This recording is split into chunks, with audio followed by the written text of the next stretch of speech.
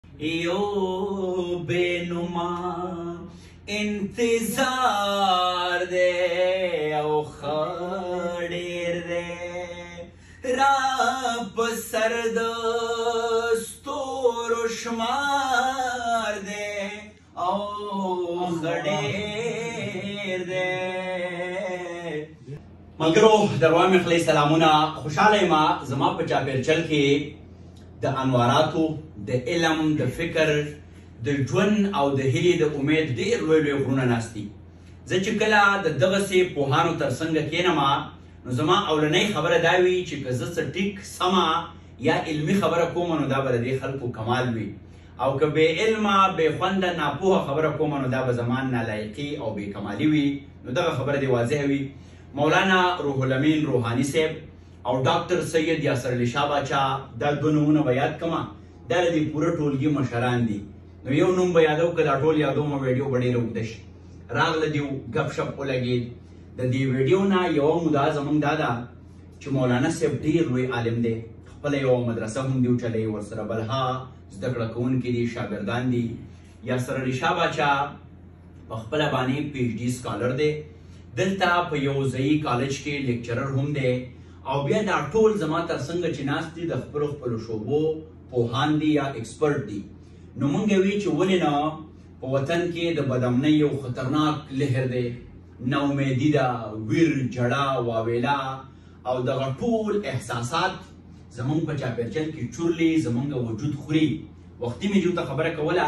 چې زمونږ په وجود کې دا وینه مونږ ته داسې محسوسیږي لکه چې زهر پکې چورلک کوي په خپل وطن کې پښتو وطن کې په غني وطن کې جړا دا واویلا دا ویر دی خو بیا هم د تیرو سینه که هر څو فولادي وي خاتمه یې ځلېدلی روڼ سهار دی او د ړندو د خاریې قصه به څه کړم افسري غوندې سړی پکې افسر دی نو مونږ وی چې مونږ به د هیلې د امید یو څو خبرې وکړو څو شعرونه به ویو نو مخکې له دې نه مولانا صاحب چې شعرونو ته د زمزمې په شکل کې یو بل رنګ ورکما که ستاسو په زړه باندې څه خبره وي نو هغه را سره په دوه جملو کې را شریکه کړئ بسم الله الرحمن الرحیم په دغه د خوف او حراس په دې ماحول کې په دې غمځپلي ماحول کې دا سره افغان په زلمی دی لا نور هم سیوا کی چې د بنو یا د نورو کورنیو هر ځل باوجود د شخصي مشکلات او د قامي مشکلات د ټول سره سره د دوی کوشش دا دی چې زمونږ په مخونو باندې خندا راولي هلته زموږ راغلي دي تسلی لپاره او تعزیت لپاره خو دوی لګیا دي د هغه قوم درد زموږ په زړونو باندې راخوري او مونږ ته تعزیت کوي چې یاره دا مونږ داسې کشالو کې راګیر یو داسې مشکلاتو سره مخامخ خلک یو داسې نوې خبرې نه دي چې سره خپل ژوند پرمختګ بوځو او دا به هر څه برداشت کوو به نو الله پاک دې ورته جزا خیر ورکړي ډېره مینه او احترام مولانا صاحب ډېره مننه کوم باچاجي تا نه به مې یو دوه درې خبرې اورم او غواړم تر مولانا صاحب نه پس خبرې وځکه وکړي چې مولانا صاحب دا وایي چې زما په شاګردانو کې خوږ شاګرد زړه ته رانږدې شاګرد باچاجي دی نو په دې وجه هغه وایي چې باچاجي به خامخا یو جمله نیمه وایي نو تاسو که کومه خبره کومه په زړه باندې اوس وي نو هغه راسره شریک کړئ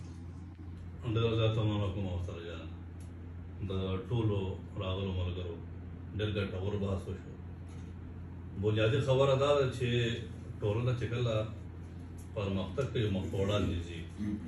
نو دا د تنوع په بنیاد باندې ځي د ډایورسټي په بنیاد باندې ځي او کله چې په معاشره کې یکسانیت پیدا شي کله چې معاشره کې جمود پیدا شي جمود وایي دې ته چې ټول فکرونه دا یو انجماد ته راشي دا منجمد شي دا ودرېږي په ځای باندې په داسې وخت کې څه فعال ملګري پکار دي او بیا د فعال ملګرو سره فعال ملګري مل کېده پکار دي او دا د خوشحالۍ خبره ده چې ته فعال یې او ته د فعال مل یې د خوشحالۍ خبره ده او کم انسان چې فعال وي نو ده کې یو څو بهترین کمالونه په معاشره کې درې قسم خلک ړومبی هغه انسان دی هغه چې دا هیڅ څه نه ټیکېږي دې ته موږ قنوطي انسان وایو نا امیده انسان دویم انسان هغه دی چې هغه چې دا سیس ټکیږي خو دا بل انسان ذمہ داري ده دا د نا امیدۍ یو بل شکل دی د خپل سکیسه په دې وخت کې په دې مقام کې د اچول نه غواړي بل انسان هغه ستم رجایي انسان وایي څه ته موږ پر امید انسان وایو دا انسان را پاسی د خپلم عمل کوي د فعال کسانو ملوي او په معاشره کې رجایي فکرونه خو فکرونه خو خبره مخوړان دی بوزي او تل لای سر ودرېږي هغه عملني هغه قدمني هغه قولني هغه هر له حاصلې دی بدغه خلکو سره ولاړي خو چې ستا تر څنګه موږ داسې بلبلان ګورو چې هم د علم دي هم د ادب دي هم د فکر دي هم د ذکر دي د هر لحاظ بلبلان دلته راجم دي ای چغار کوي ای خبره کوي خپل درد شریکوي نو خبره دا ده چې دغه درد لا لازمي خبره ده چې په دې معاشره کې همدرد خلک ګورو او زموږ کمال دا دی چې په دغه تسنس معاشره کې دې دردونکه معاشره کې دغه درد له همدرد پیدا همراز هم ناس دی دا به د مرز نه همراز ګوري فکر به هم فکر خلک ګوري او دا به هم ذکر خلک ګوري او د ټولو مدعا دا ده چې موږ پښتون قام پښتون وطن دا د خوشالو سو کالو په دغه کالو نورم سنگار کو نور مخکولې کو دا استاد باندې حسین هم د مقل لحاظ سره هم د فکر لحاظ سره هر لحاظ سره دا خلک بوتلې جوړې واه واه واه واه یې لکه باچا جی هغه ماته یو شعر رايت شو وایي چې ته غږېږې زه مدهوشه شم یې جنۍ ته د موسیقۍ څه باچاجي چې خبره کوي نو بس مونږ یو کدا سندره ده که سندره وای نو مونږ یو کدا خبره ده بهرحال ډېر خوشاله شوم مولانا صاحب تاسو ته بدیم خوشاله یم چې تاسو د علم الادب هغه پوهان یې چې تاسو د شعر په اصلي معنا باندې په جوړښت باندې ډېر ښه پوهیږئ نو د داسې خلکو مخکې شعر ویل دا په خپل باندې ډیر مضبوط زړه او ډیره مضبوطه ګرده غواړي عبد غازی ته خو ګوره صرف د د د گفتار غازی او د کردار غازی کې ډېر ګران کار دی بچاجي تاسو او د مولانا صاحب په اجازه باندې اول یو دوه درې شعرونه تا چې د هیلې د امید خبره وکړه نو ما ډېر مخکې لیکلی غازی چې بارود کرا ماتم جوړ کا خو مونږ به ژوند کوو امیر صاحب بارود کرا ماتم جوړ کا خو مونږ به ژوند کوو اسمان ټیټ کا تور تم جوړ کا خو مونږ به ژوند کوو او رباب رباب غزل غزل ژوندون د پښتنو خنجر جوړ کا ته بم جوړ کا خو مونږ به ژوند کوو او ګلویشا ګلخوبانې ګلندامې ګلورینې ګلوېشه، ګل خوبانې، ګل اندامې، ګلورینې، ګوزار کوه بل غم جوړ کا خو مونږ به ژوند کوو او کاګه واګه باڼه دې مونږ ته ژوند بخي کافرې اچھا جی وره کاګه واګه باڼه دې مونږ ته ژوند بخي کافرې یو کوک جوړ کا بل سم جوړ کا خو مونږ به ژوند کوو دا د ژوند خبرې دي په دغه ناامیده چاپېرچل کې بیا به د ابرار غر صاحب یو څو شعرونه زما ډېر خوښېږي باچاجي ترنم کې به یې درته ووایم او ستا د خبرو نه پس نه شعر خوند کوي نه ترنم خوند کوي نه ټپه خوند کوي باچاجي هېڅ هم خوند نه کوي مونږ وایو چې صرف متاورې دی خو به هر حال د وخت مجبوري ده او دا د تاریخ جبر دی او جبر نازولی دی غازي صاحب صدیق جان وایي چې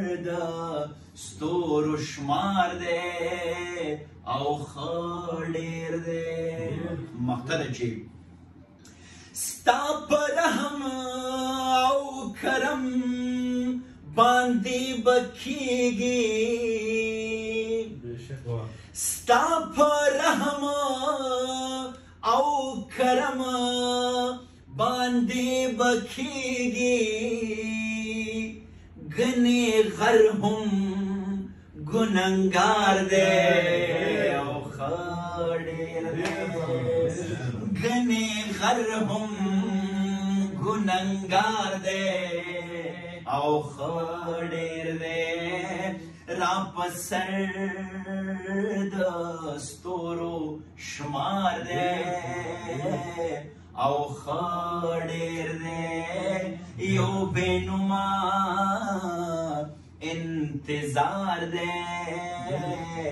او خاڑے ستاسو ډیره زیاته مننه کوم ټول راته خوشاله اوسئ او اخري خبره به مې دا وي باچا جانه چې ستا په شان ښایسته اسلام آباد دلته وي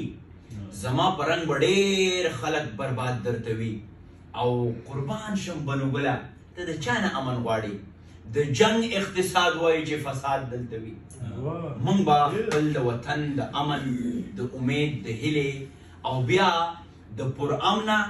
او د د د داسې یو لاریون یو احتجاج چې پاره کې تشدد نه پاره کې جذبات نه د مکالمې د ډیبیټ او د خبرې د لارې با خپل د وطن حل روباسو او دغه احساس به تل تر تله مونږ خپل په وجود کې د وینې سره چورلو او افغان ته اجازه راکړي نو الله پامان